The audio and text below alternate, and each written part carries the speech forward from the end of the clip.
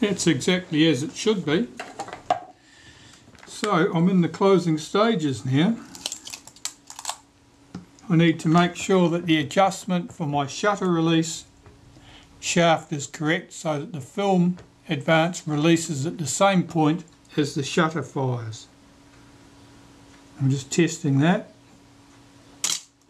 The shutter fired, and the film release was released. I'm not hearing the film release release first. But that action is very smooth and repeatable. So that's good.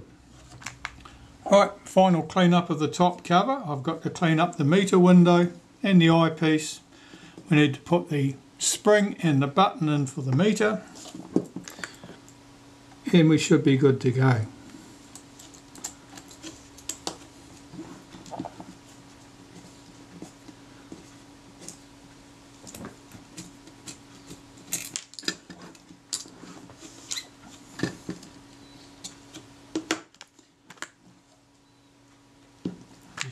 Check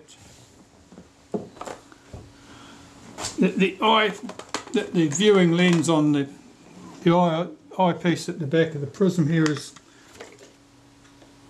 clean. The problem with glass is you can clean it a thousand times but you always manage to get another fingerprint on it before you've gone two steps. Meter window. That's good. The meter window in the top cover.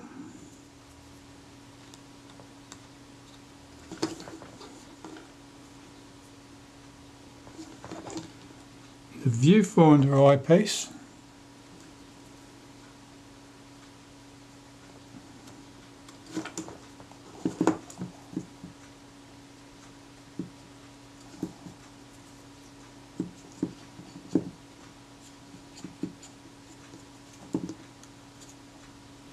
that has marks on it like coating marks they're, ne they're never going to come off they're, they're nothing um, Nothing particularly bad about that.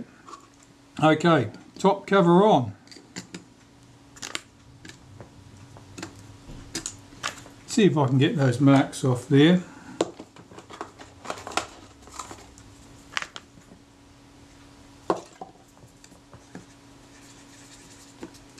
Yes.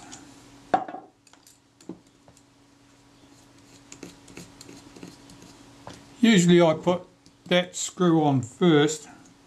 It has a, a, uh, a step on it or a register. If it's not centered up, it doesn't fit well.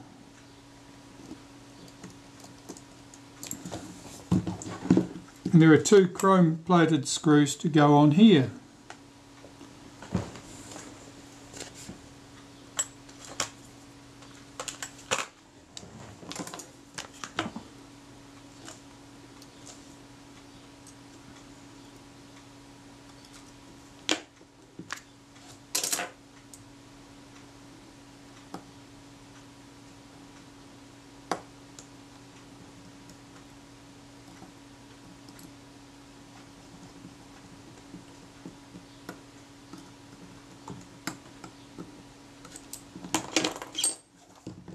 Oh, I'll tell you what I've forgotten. I haven't put my button in there yet. Let me just get this off and put the button in place. Well, that's starting to look more like a camera now. Let me put the rewind knob back on the top. Just put something through the fork. Then tighten it up with my fingers. Okay, so there we've got a camera that looks like something. Leatherettes next.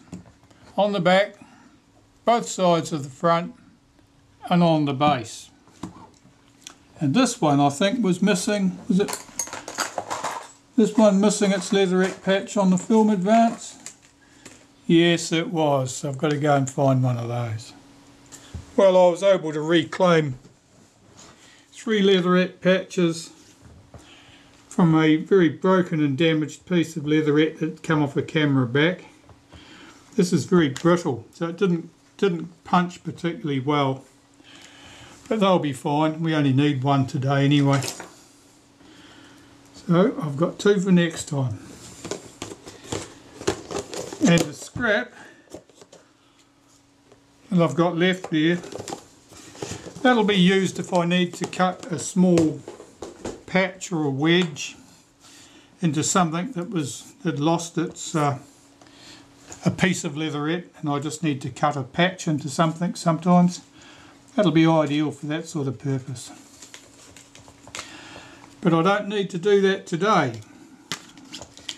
I've got my leatherette for the camera back. It's still got its bump in the middle.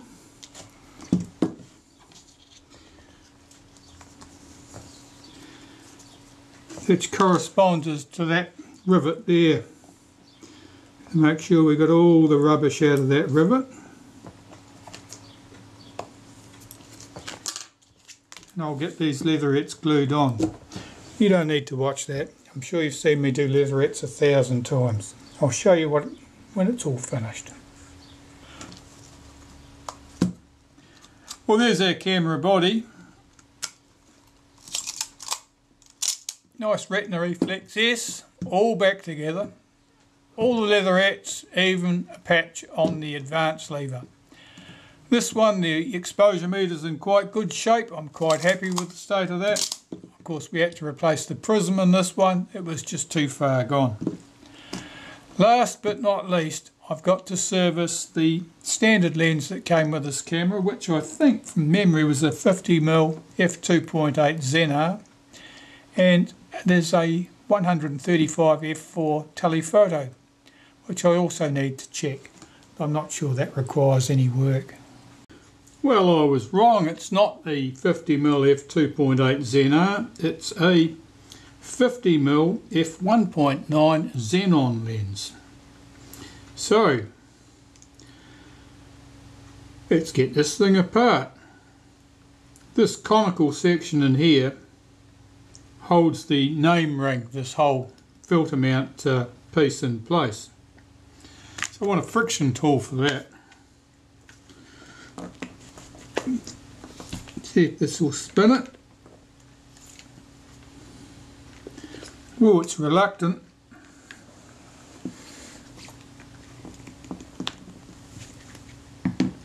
I think I'll need something on there to make that stick a bit better. Try some of this rubber sheet.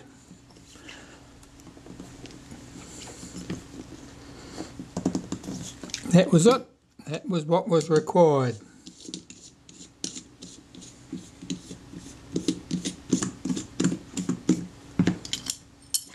Okay, so there's that piece, that conical section I was talking to, about, and it just threads in. It's got fine threads there that run down into the centre of the lens mount there. Okay, and this is the, the name ring. A little locator pin at the top to stop this rotating. Let's see about getting this apart. So first steps, there are three screws here. Hold the, hold the lens capsule into the mount.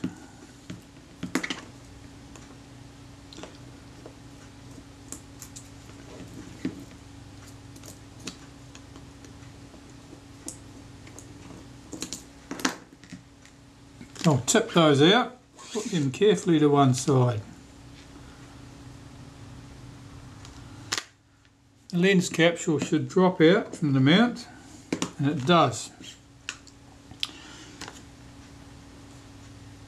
I can see why the focus was quite stiff. This grease is quite dried out here on the helical and uh, sticky, sticky with it. The glass doesn't look very clean. The diaphragm's good, moves smoothly no, uh, no problems there. I'll pop that to one side. Let's look at the mount. Now the mount, well the depth of field pointers here, that whole business is sticky. You can, that should have returned by itself. You can see that it sort of returns reluctantly and not very well. all of this is sticky, needs to come apart. Are four small screws from the back.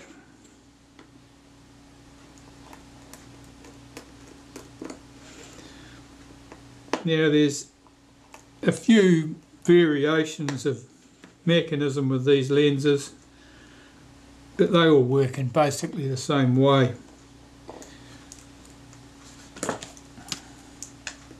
Take those four screws, put them to one side.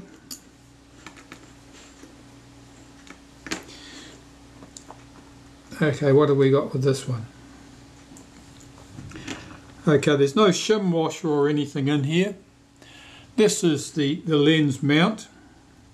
This piece, which is quite stiff, is the coupling, the cam that would couple to the rangefinder in a Retina 3S camera. Some of our, our focus stiffness is certainly down to this. This part revolves with the uh, with the focus ring. So back to here. Lift these components off one by one. Lay them out in order so you know which one went where. My tweezers are just a bit sticky with, I know what that is, that's tape residue because I was just busy dealing with sticky tape around the prism of a reflex camera, not this one. Okay, so this one, this pointer comes off. Now make a note of which of these springs is connected to which pointer. This is the pointer we've removed from the top that had the fine spring on it.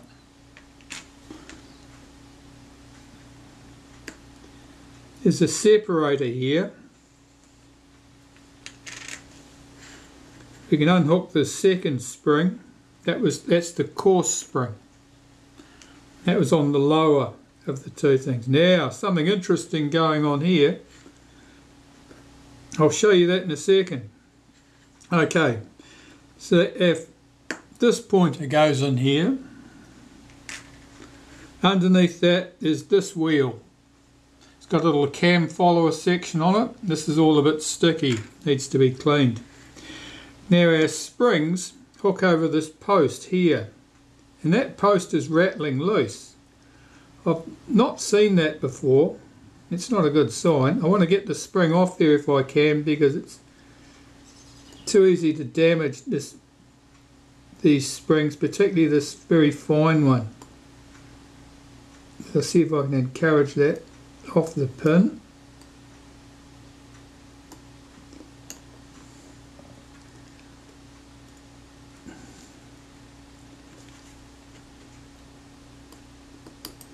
Yep. So that pin's loose. We'll have a look at that in a second. I want to know what's going on there. So this two, these two components, our focus scale ring and the main body here. As you can see, they're held together with a clamp, two clamps here, and there's a washer in here. It's like a nylon um, or Teflon washer or shim. Now that's all puckered up and buggered up there and um, obviously that's not good.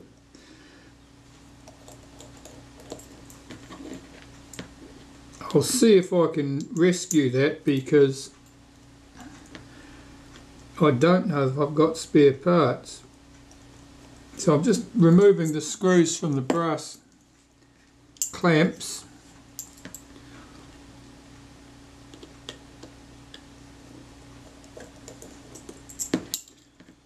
So what happened with that Teflon? I would say at a guess that this has become, the grease here is very dry and sticky. I suspect that it actually stuck to the surface and then something has been twisted and just torn it. This piece, this post here is the guide post that prevents the lens body from rotating in the on the mount.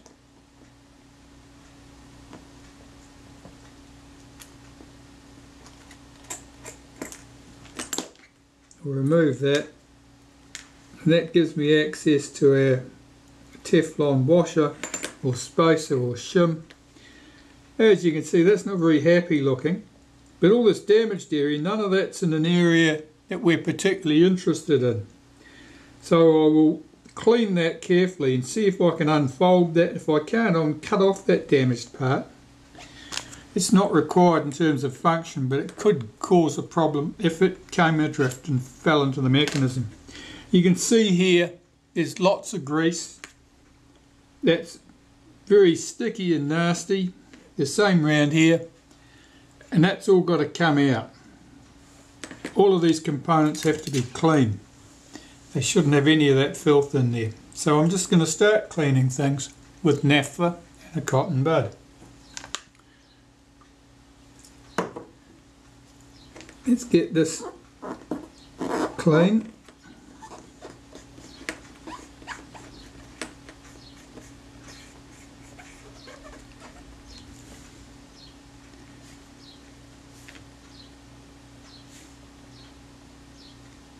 That's the post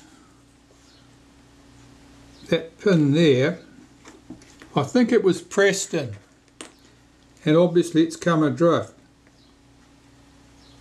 I don't think that I think I'll be able to put that back in place possibly with a drop of glue if it doesn't look like it's going to stay there. I've never seen that pin come loose before I would have assumed that that would be riveted in place. But it doesn't look like that's the case. There's nothing on the back side of it at all.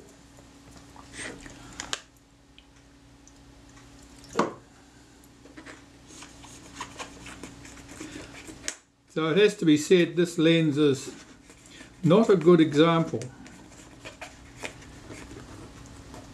Usually the ones coming my way don't suffer from as many problems as this. All the problems are only small in number. It's not uncommon for things to be sticky with dried grease, but I rarely find other mechanical problems with them. Now these two little gears here counter rotate with their depth of field pointers and make sure that that all moves smoothly. It feels good run a bit of naphtha on there.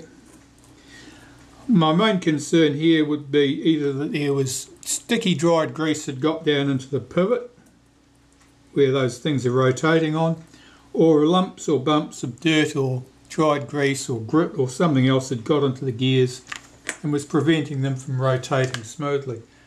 But I see neither of those problems there. They seem to work very well. I'm just wiping very carefully around these internal surfaces here to get out any embedded dirt and grease. This whole mount's a bit grimy.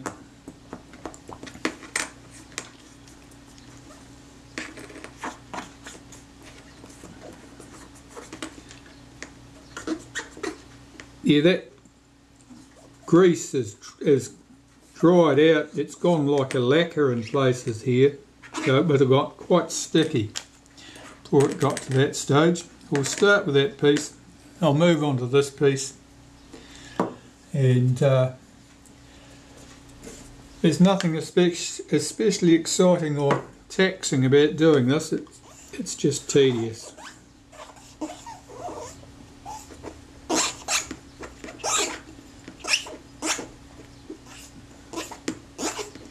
And this grease I'm getting out here on surfaces that would not have had any grease on them originally. It's grease or oils that have migrated from elsewhere in the mechanism.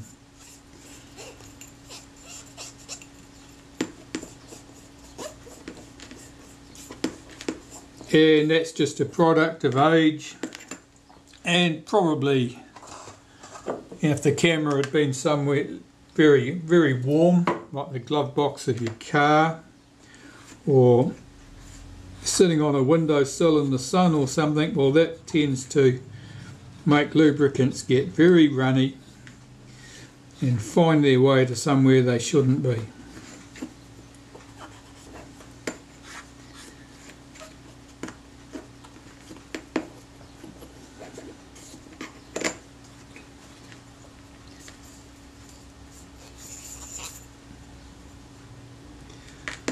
That's looking a bit better.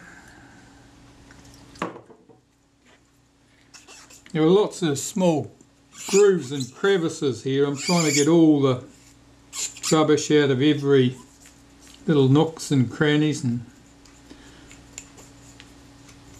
in particular I don't want a particle of something like a little bit of grit or a dried piece of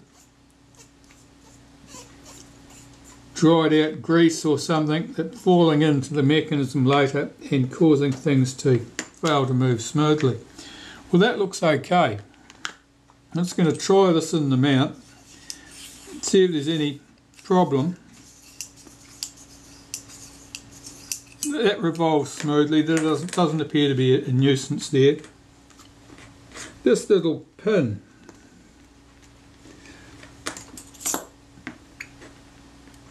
Let's have a look at that.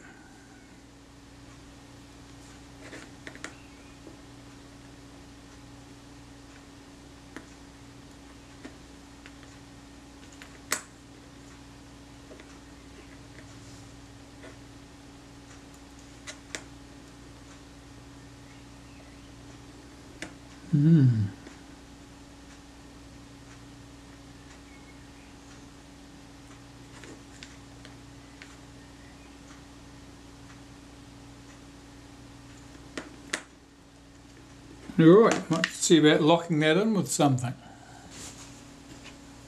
Well here I've got a staking set which is a watchmaker's tool used to uh, effectively rivet things over. Now I've got a stump in here which is like a, a short extension with a hole in it that matches that pin. I get that pin seated into that stump. I think I can drive the thing home. And the advantage of this is it keeps everything in line. That hole doesn't look exceptionally round to me.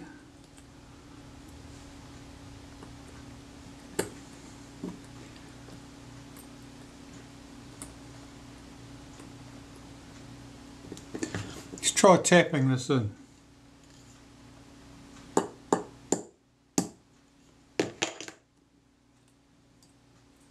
I've tapped that in flush with the surface on this side because of course that pin would have risen out of there and it could have caused problems.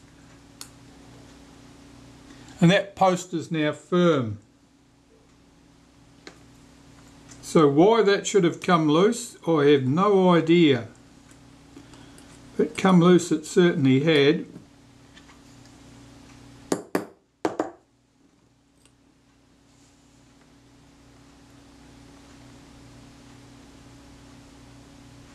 There's no sign of that moving. I'm quite happy that's done the job.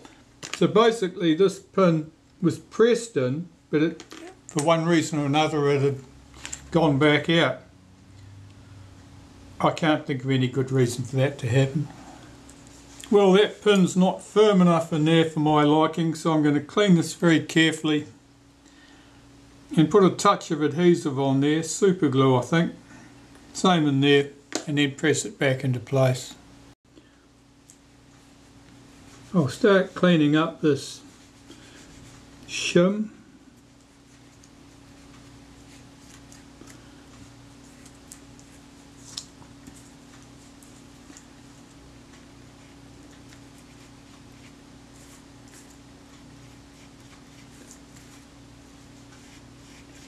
I've never seen one damaged quite like this before.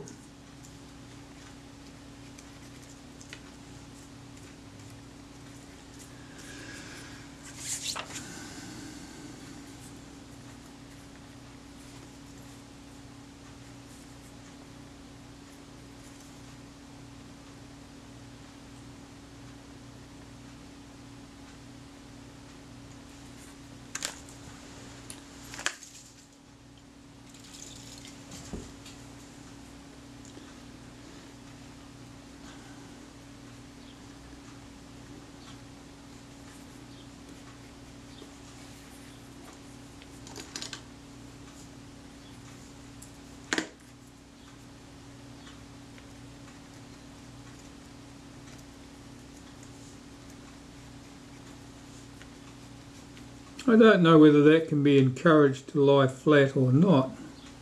It is slightly torn right across that edge.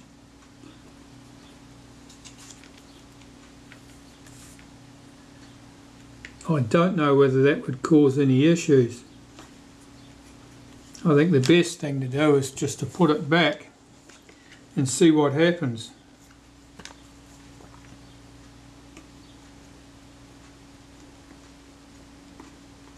It's certainly all there still, it's just um, not in good shape.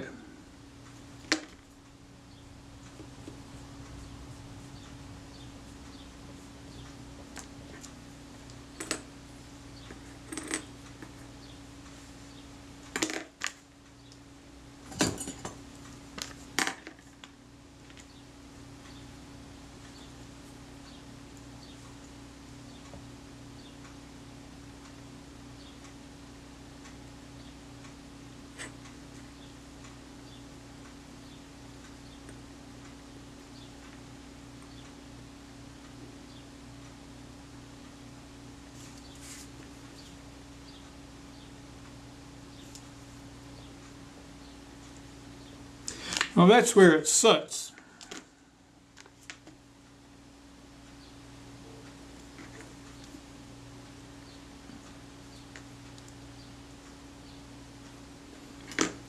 I think I'll put this back together and see how we go. When you're putting these things together, you've got to make sure that your focus scale numbers come somewhere near the pointer at the top because there's a stop in here which prevents the rotation of this beyond a certain point. You don't want to run into that or pull things down on that and cause problems. That sits on there like that.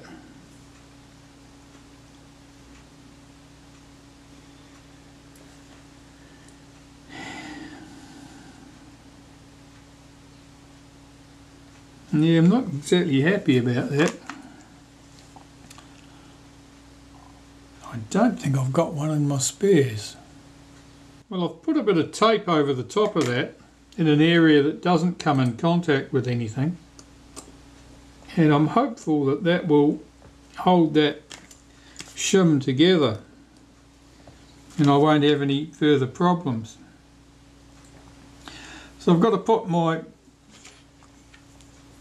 clamps back in place. These all need to be cleaned. And then we'll see how we get on after that, I think. At the moment I've just got this sitting loosely on the base here to support it. But I'm reasonably hopeful this will go. I just need to clean up the other components really. And um, after that we'll just have to suck it and see as they say.